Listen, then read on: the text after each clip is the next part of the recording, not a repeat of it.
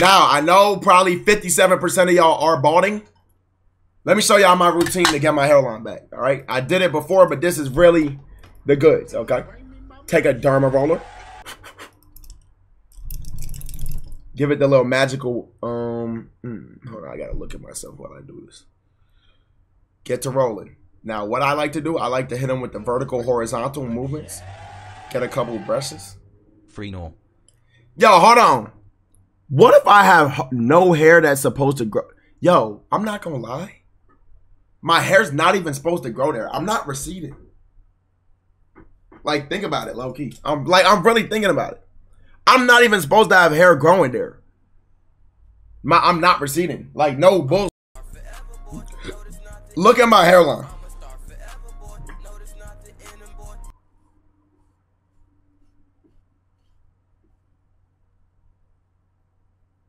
Y'all see what I'm saying?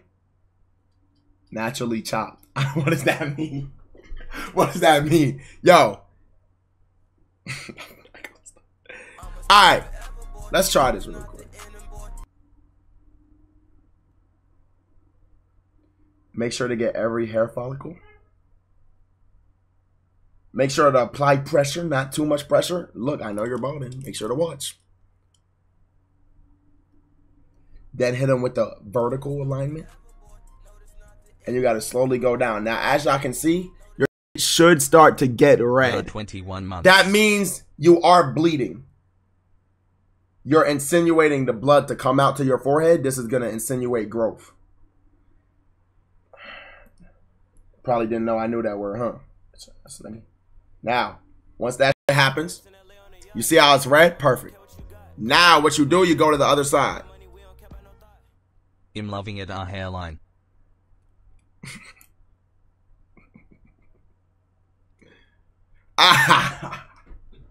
Alright, make sure y'all start with the other side. Now, as y'all can see, same exact procedure. This side not receding really, it's just a little thin. Pin. You're supposed to spray that with alcohol first, gang.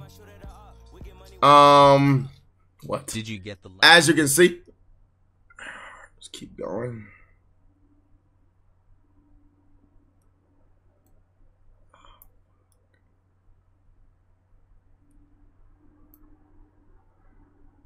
Now, once you do that, same thing.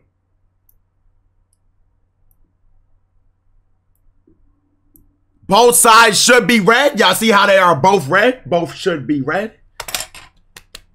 Make sure to smack your head so it gets a little redder. Once that happens, minoxidil. You see it? Beautiful, pretty. Minoxidil Kirkland. I, I don't know if I got some in my eye. Take a little squirt. Lean back. Apply twice to both sides.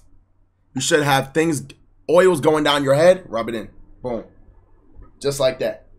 Make sure to really moisturize. Your hands better be clean though. Make sure your hands are washed.